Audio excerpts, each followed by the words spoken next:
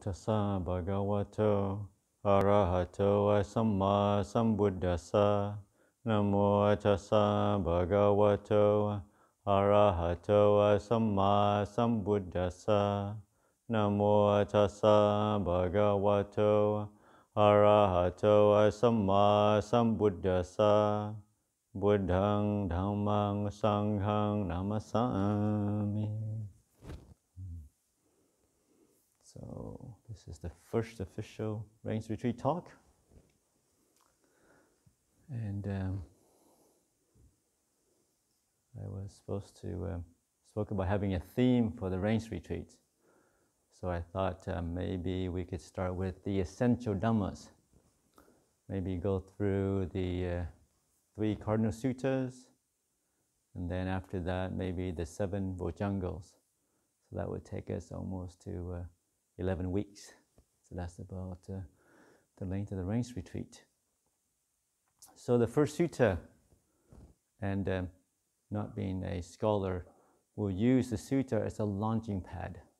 And then uh, we'll pick bits and pieces, bits and pieces, the highlights that I like to remind people, and uh, we'll go from there. And the thing that strikes me with the, uh, the first sutta that the Buddha taught, the Dhammacakkappavattana Sutta, um, was obviously well-known sutta, and many of you have known it, that the Buddha talked about suffering. So the narrative goes, you know, suffering. And then that's how we get labeled Buddhism, Theravada. It's all about suffering. Not entirely true. He said there is suffering. He's only, he didn't say there's only suffering. He said there is suffering, which means obviously at any moment in our life, there's some sort of discomfort, stress, worries, and tension. But that's not the only thing that's going on. There's also, you know, um, inspiration. There's also energy. There's also faith. There's also love and wisdom and all these beautiful other aspects in life that we can pay attention to.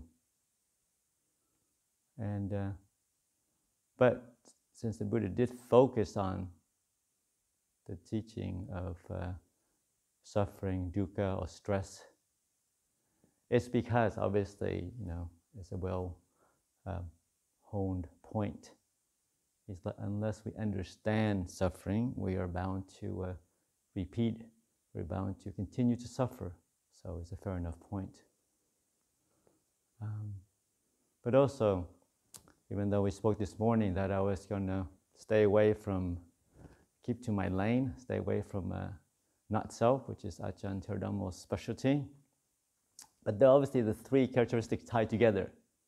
And it's just something I just want to point out that if you are suffering, you're feeling annoyed, stressed, anxious, usually there is a self in there somewhere. A self to defend, to protect, a self to uh, um, to project. So you're suffering, just look around. Usually there's a self in there at work. If there's no self, there's no suffering. Because we know people get sick all the time. But we don't suffer other people's sickness unless they're close ones. We suffer because we are sick. We suffer much more so if we get depressed or sad. We know there are tragedies in the world all the time. We read about it. But it doesn't affect us as much unless our precious self or the people we love, that we, that we, the people we attach to, meets with this suffering. So obviously there is a selfing in there. So it's a good reflection when there, when we are suffering, feeling stressed or worry. Where is my sense of self? Where is it that I'm attaching to? Where is it I'm making a self out of?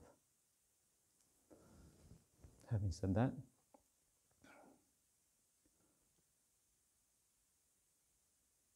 I want to point out to the more aspirational, more uplifting aspect of the Buddha's first teaching. It's its implication. Obviously, the Dhammacakkappavattana Sutta created the first five stream enter. And that is pretty cool, I think, because it doesn't say you know, Buddha can become enlightened, but he's whatever, super special, superhuman, gets great DNA. He's been doing this for many, many lifetimes. But, you know, what does it say about other people, like ordinary beings like us? But the fact that he taught other people, and that through the realization, through the following the Buddha's teaching, that you have five stream enter after the teaching and obviously, um, through his teaching, throughout his 45 years of teaching, there are many beings that became enlightened. So the first sutta has a great implication that each and every one of us has the capacity. That the Buddhist teaching is not something, you know, that Buddhist enlightenment is not lost. It's not an individual thing. It's something that can be taught, can be pointed to. That if we do the work, we train our mind, we understand suffering, we will also be a noble ones.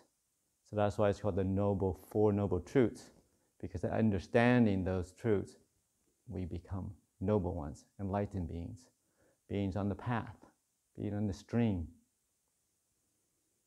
And that's a great thing to remember, to not lose sight of.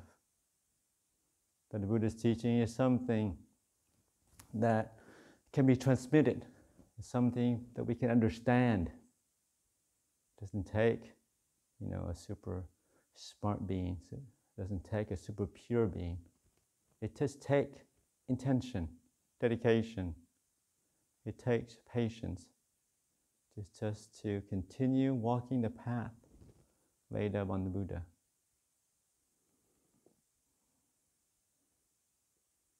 And it's, yeah, at the end of it, we read in English, it's great. It's like a great surpassing light, surpassing all the beautiful thing, uh, the devas shown on earth. So it shows that, you know, the power of truth. Truth has power, something that has resonated throughout the ages, throughout, you know, culture. Truth is something that is immutable that we can feel it regardless whatever our cultural background is. Something that we gravitate, you know, gravitate towards. Everybody here has come from, you know, many different cultures, backgrounds, conditionings.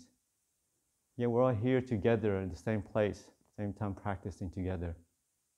Speaks to the power of the Dhamma, the power of truth, that we can feel it, even though we don't totally understand it.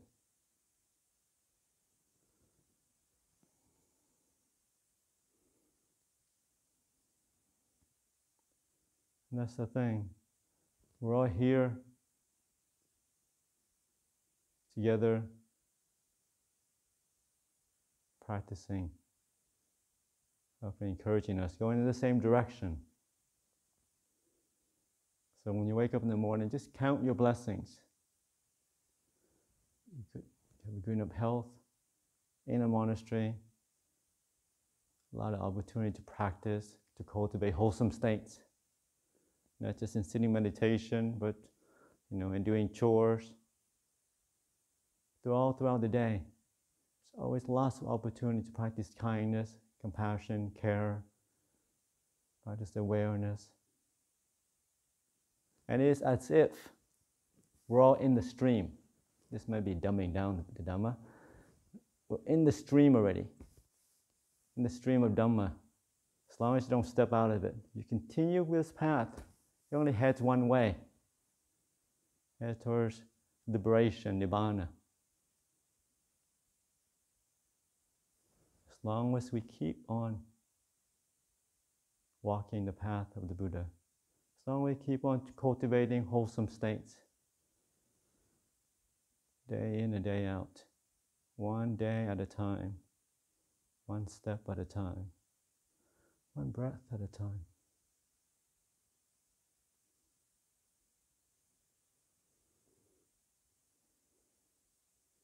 So whether you're here for the weekend, next three months, the favorite place, I say over and over again, nothing to do, nowhere to go. You're here already. Main thing is, yeah. in a monastery on the cushion, main thing to do is just to be here, to allow the mind to be still.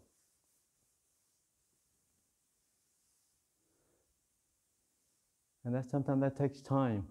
But the main thing is to be at peace, to make peace with the thinking mind, to make peace with the grumbling mind, to make peace with the sad, depressed mind, to make peace with the complaining mind. It all belongs. Sometimes we like, oh, I like it when I'm inspired. I like when I'm happy. I don't like when I'm grumbling. I don't like this bit of me. I don't like when I'm sad or depressed. But that's part of the stress. It's the disassociating the bad bit. It's, it's hard to, part of the spiritual practice, part of the spiritual path is this ability to open yourself up to accept all parts of yourself the beautiful and the bad one, the good, the bad, and the ugly, the horrible, the crazy ones. It all belongs. Really. Everything belongs, everything has its place. It's just to acceptance, to understanding. And these things transform themselves, not through our willpower, but through the power of the Dhamma. So understand the grumbling mind, understand the sad, anxious mind, understand the fearful mind. What does that feel like? How does it ex- express itself in the body? How does it express itself in the present moment? It is through understanding that liberation happens, not through disassociating, not through pushing things away. So in the practice, there's not a lot. You don't have to do a whole lot. You just have to be present, to be here. Really. To accept things. And through the acceptance, things transform themselves.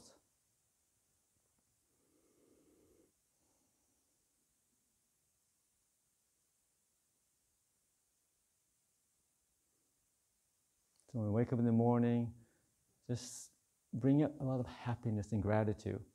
This ability, the opportunity, just to bow to the Buddha, to bow to the Dhamma, to bow to the Sangha. You're already ahead. You keep an A precept, way ahead. Anything else? What the mind does, that's all icing on top. Whether it thinks a lot, whether it gets the body gets achy, that's, that's not so important. You're in the monastery, sitting, sharing the space with so many like-minded people. People who have purity of intention. Not perfect, but perfect in their intention of wanting to cultivate wholesome states. Wanted to do the right thing. Wanted to practice, you know, care and compassion. Wanted to support each other. And that's a beautiful thing that we should always remember over and over again.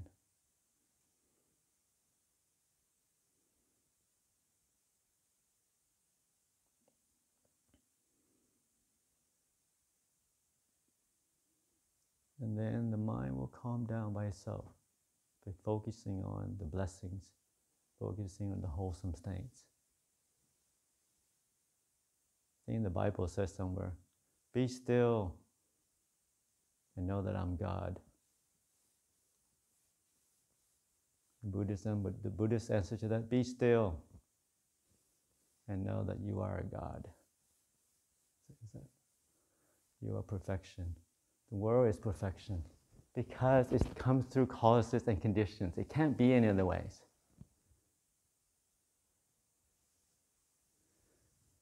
When the mind becomes still, there is acceptance, there's understanding that happens naturally. It is through the wanting, the wishing, the craving, the longing that we start to stir the mind. So we sit meditation, just sitting, just being, just watching, watching the breath, watching the mind, watching the body, and being with it, allowing those things to calm down at their own pace. Sometimes they calm down a bit too much, and you're in la la land, but that's okay. Nodding away has never killed anybody. At least you're on the cushion. At least you're on, the, you're not in bed. That's in the sala.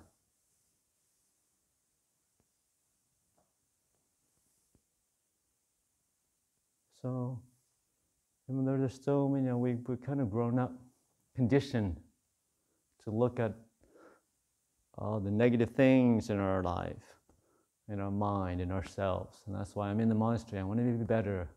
I want to be free from anger. I don't want to drink, smoke pot. I don't want to stop playing computer games. I want to be a better person. And it's fine, we have things to work on.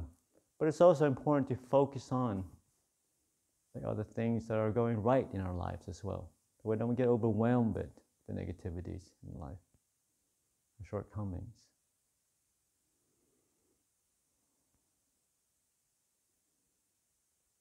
So we're here in the stream already.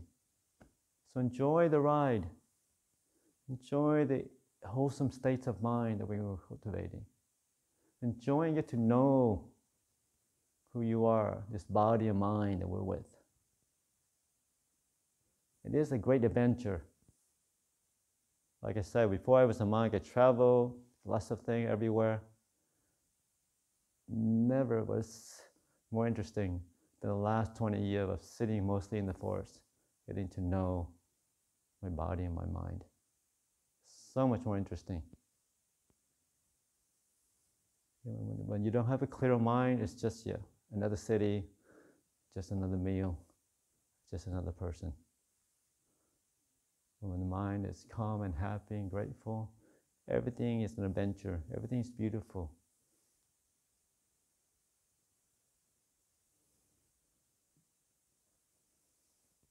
So, on this journey of ours, we're not going onwards, hopefully, we're going inward.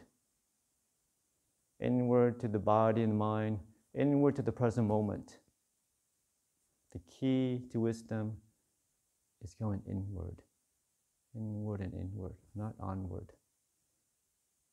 I'm not going to get my jhanas and get my wisdom, write my books, be finished, and go do other things after I become enlightened. It's just staying in the present moment and allowing that to open up, however that does. Allowing the mind to show you what is inside of it.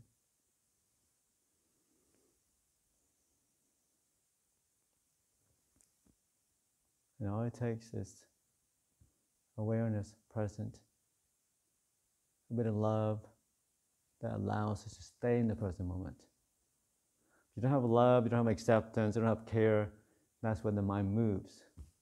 If there's greed, then it moves towards this object it wants. If There's aversion, it moves away from the present moment.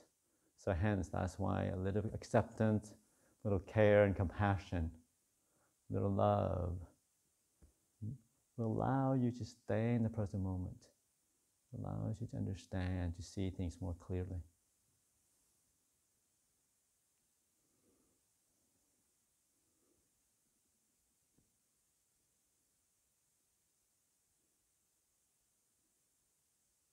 And it is. Every rains is different. But yeah, I think uh, the sense of uh, interest, excitement, for this journey we're all taking together. So strap on your seatbelt and enjoy the ride. So I offer that for your reflection tonight.